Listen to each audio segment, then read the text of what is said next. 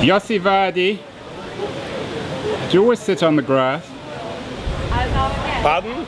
Do you always sit on the grass? No, I sit wherever I can sit. So Yossi, welcome back to TechCrunch TV. You were on this time last year from Athens, Greece, and we're back in Athens at Stream 11, the great uh, WPP, joint WPP Yossi Vardi production. Yossi, have you had a good year? Yeah, I had a good year. Well, tell me more. I think I think the internet is doing very nicely. I'm, uh, as you know, involved in uh, consumer-facing applications, and uh, I had few failures. I had three exits. I have nothing to complain about, and uh, it's nice. What were the what were the failures and what were the successes for you of the last year? The failures are too long. The list is too long to begin to to count all of them. And uh, in in my uh, portfolio uh, investment, where I'm doing a very early stage, I have my fair share of companies which are going nowhere. But on the other hand, three of my, my companies made exit. This year. One is Answers.com, the other one is Wibiya, and the other one is two days ago uh, the Gift Project, which was sold to eBay. So all in all, I'm not complaining. And what sectors were they in?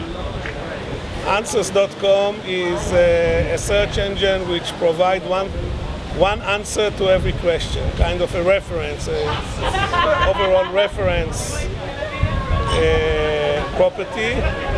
Wibiya is a, is a widget which enable you to approach uh, many many applications from one point, and the Gifts project, which is now part of eBay, enable few people to do joint uh, sharing.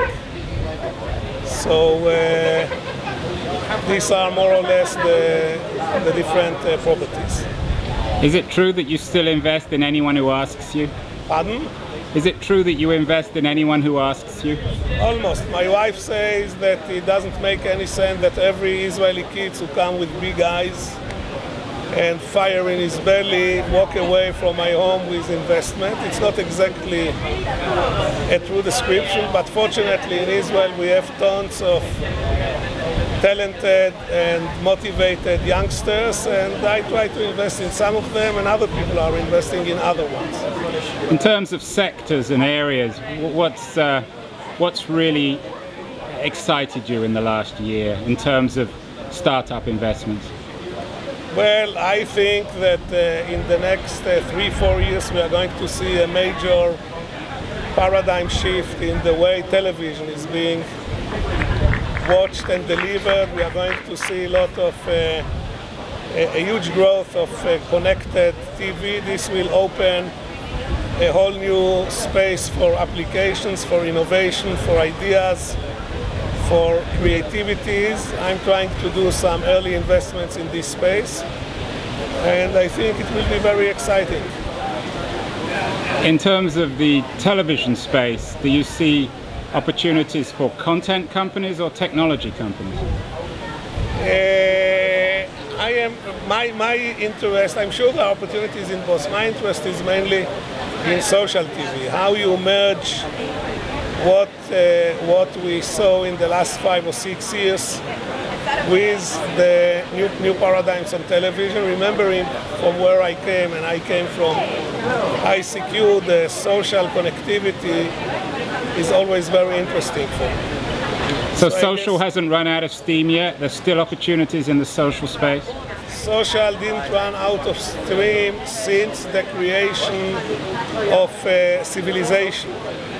So I don't think that it will run out of steam. People mainly want to, want to attend to other people and to be attended to. And what are you excited about this year, or what would you like to be excited about? What opportunities would you like to see be opened up? Seeing more young people doing innovation, more young people being empowered, more young people coming with ideas, more young people able to execute their dreams. I think this is very exciting. One of the great themes of Stream 2011 has been innovation and how to create innovation both on a personal and a national basis. Israel seems to be doing it better than the US. What advice would you give to America as it tries to innovate itself? you know what uh, Freddie Laker was asked? He once was asked, what advice would you give to a young entrepreneur? And he said, go after your hunches, go and execute, don't hesitate, but never, ever, never give personal guarantees. That's a good advice. And Yossi, no TechCrunch TV interview would be complete without at least one, Yos, one bad Yossi Vardi joke. So for the tens of thousands of Yossi fans on TechCrunch, give us a joke before we finish here. You have to tell me on which area, on which topic. Uh, Jewish mothers, please. Jewish mothers, that's easy. You know, you know what is the difference between a Jewish mother and Rottweiler? No idea. Jewish mother at the end, let's go. And you know what is, it's funny, you are supposed to, to laugh. Good. Well, I had a Jewish mother, so it's not that funny. Yeah, and uh, I, by the way, I inherited my mustache from my Jewish mother, uh, my Jewish father.